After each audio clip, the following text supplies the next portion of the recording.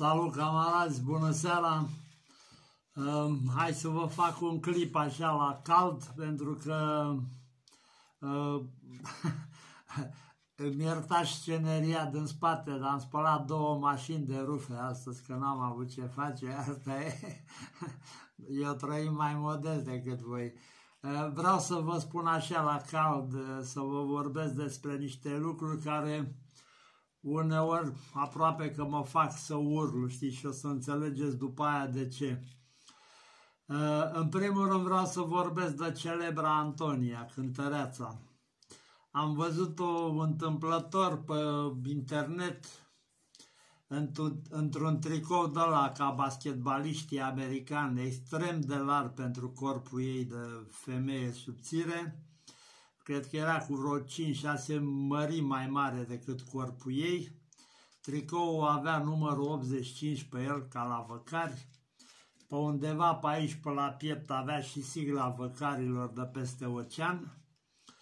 Uh,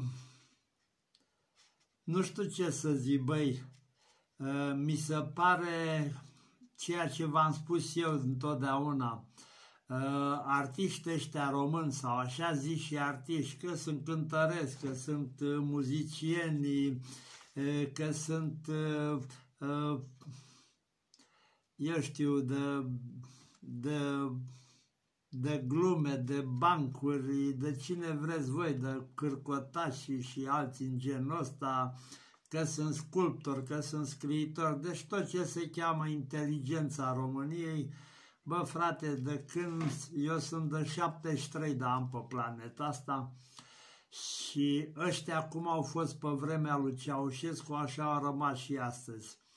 Uh, mai sus numită Antonia făcea reclamă la niște jeleuri chimice. Vorbea în engleză, doar odată a scăpat o frază sau așa era joaca, a scăpat o, o mică frază în română, vai de capul meu, dar în rest vorbea engleză, probabil că reclama e pentru Europa sau pentru Mapamont.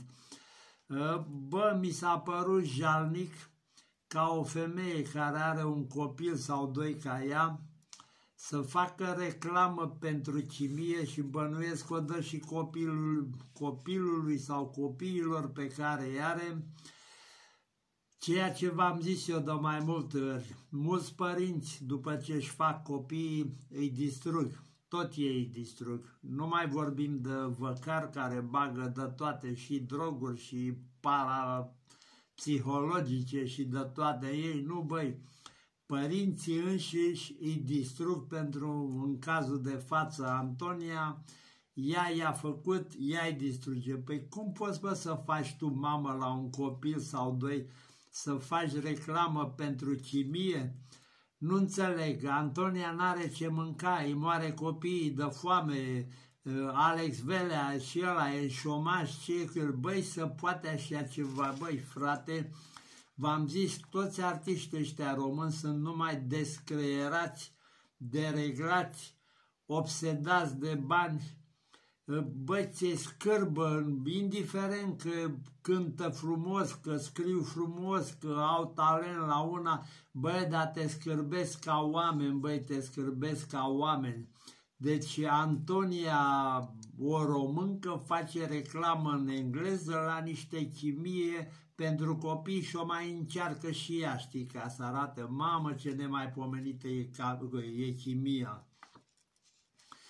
Bă, eu zic că vai de cozonacul nostru, știți cum să zice, vai de cozonacul nostru, ăștia nu sunt artiști, nu sunt idol de urmat, nu dau niciun exemplu. Tot ce am văzut eu la, la colegii mei după, după internet, artiști, nu știu ce, băi, toți sunt numai pe, pe prosteală, sunt scurți în bandă, duși cu pluta, unii au și filetul pe stânga, ă, mulți sunt pur și simplu descreierați. Ați văzut de curând Guess Who a fost prins îndopat cu cocaină la volan.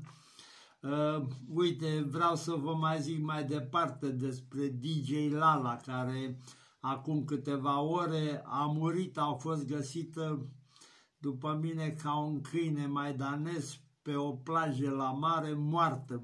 Bănuiesc că are până în 30 de ani. Băi, e posibil ca oamenii să fie atât de idioți să consume băutură în prostie și droguri în prostie numai că au văzut ei la televizor sau că e cool. Băi, e, e posibil așa ceva, băi frate, când vine să urlu, să știți, așa. Cum băi să mor ca un câine pe plajă, beat sau beat și drogat la, eu știu, la 27-30 de ani? E posibil, băi frate, așa. Băi, mi se pare de nici nu mai știu cum să zic, băi frate, dar mi se pare jalnic, jalnic că noi care am fost un popor sănătos ne lăsăm de 34 de ani prostiți de jabre care n-au nimic în creier decât bani și bani și bani și altceva. Nimica, obsedați de bani, dereglați de bani, ă, mulți sunt prin ăștia care au bani, sunt și pe droguri pentru că fac bani, dar în același timp drogul pune stăpânire pe ei. Bă, mi se pare îngrozitor, se pare că DJ Lala, care mi se pare că e din Turda, ă, avusese nu știu ce probleme, vă dai seama, eu nu mai mă vai de problemele mele la 73 de ani, am fost torturat de securiști, am evadat într-o pușcărie de maximă siguranță din Germania acum 40 de ani. Uh, am avut viață de... Am dormit pe străzi, uh, n-am avut ce mânca, de multe ori n-am avut un ban în buzunar și uh, DJ Lala suferea de depresie. Păi băi, știți de ce e depresie, băi, în ziua de azi? Eu am 73 de ani și nici n-am auzit cuvântul ăsta depresie. Generația mea n-a avut niciunul depresie. De ce? Generația mea era activă. Noi, eu sunt născut în 1951, acum pe 1 februarie fac 73 de ani. Generația mea și nici eu niciodată n-am avut depresie. De ce? Am făcut sport, ne-am mișcat, bila, am pus-o la muncă, nu? Bă, depresia e boală de puturoși, de oameni care trăiesc ca niște cârtițe pe viață cu ochii închiși și pe tuneluri întunecoase. Depresia e, e boală de intelectual de ăștia cu langoase, cu nu știu ce. Bă, ia să pună mâna, mă, să alerge 10 km măcar pe săptămână, să facă în fiecare zi 20 de minute gimnastică, să mănânce sănătos, să bea doar un pahar de vin sau două, atâta cât e necesar, să vezi că nu mai face nimeni depresie, bă. Și să nu stai toată ziua pe telefon. Citești, te miști, faci ceva, ă, îți, îți irosești energia în ceva, investești în ceva. Păi, tineretul de azi are depresie. Bă, n-auzi, țăranul care se scoală la 5 dimineața și stă în picioare până noaptea la 8, ăla n-are să dea dracu, n-a avut în viața lui depresie, știți? De ce? Păi ăla n-are timp de depresie. Depresia e pentru puturoși, pentru dăștia de la orașe care le, le, le elene să alerge după tramvai, știți? Așa. Și hai să vă mai dau și ultima chestie. Uh, pe internet sărăntocul de Marcel Pavel, care a cântat pe la toate nunțile, pe la toate botezurile, la fel ca Nicu Covaci, alță de la Phoenix, alt sărăntoc și ăla, căra saci cu bani și acum la 75 de ani, vă doamne sărac.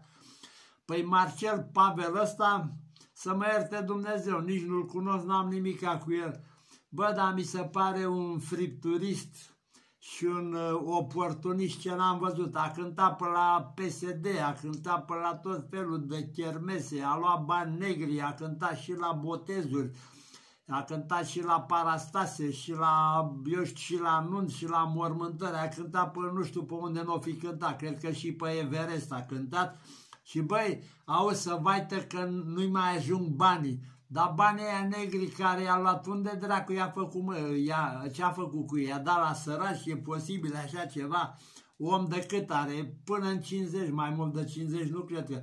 Nevastă să are 40 și ceva de ani, în loc să-și găsească o muncă, ceva, ei să vaite. Eu ce să mai zic, bă, că am 73 de ani, n-am pensie, n-am salariu, n-am nimic, și uite că nu mor, știți?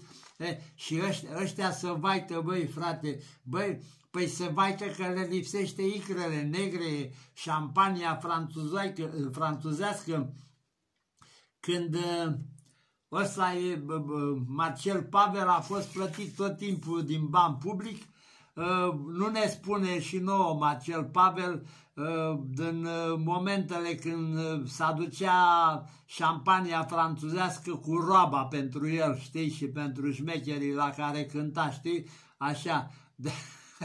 Vă dați seama, băi, băi frate, n-am văzut așa ceva, băi, bogătani ăștia nu se mai satură, băi, să dea dracu, le-aș băga, le-aș băga câte doi saci de euro tăiați mărunt așa în fiecare zi, le-aș băga pe gât așa ca la, ca la gâște de Crăciun. Când eram eu copil, mama punea gâsca în poală, o imobiliza și o îndopa așa cu gâște și îi trăgea, uh, o îndopa cu boabe de porumb și îi trăgea boabele alea de porumb pe gât ca să se îngrașe, să pună grăsime pe ea, că după aia o punea cu cracii la tavan și grăsimea aia de la porumb era meserie, nu mai trebuia porumb, că venea din grâu ăla, știi, la, la meserie ce n-a văzut Paris.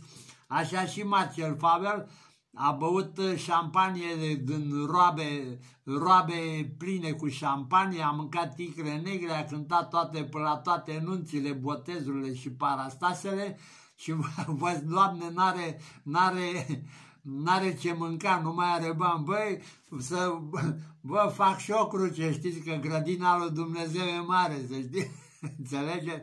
Mă apucă și râsul. Băi, ăștia sunt, Uh, nici nu mai știu cum să zic, penibil, jalnici, bă, bă, pe mine nu o să mă auziți, până o să mor, nu o să mă auziți că mă plâng că n-am bani. N-am bani, mă duc și cerșesc pe stradă, fac ceva și câștig bani, nu? Așa. Băi, ăștia leșinați ăștia care au, au, au învârtit sute de mii și milioane de euro, să plâng că n-au bani, bă, sau vrea să spună poate că nu mai are bani de caviar, de icre negre și de șampanie franțuzească, Dom Perignon. Hai că vă aștept la comentarii, vă pup cu drag, pa, pa, pa camarazi!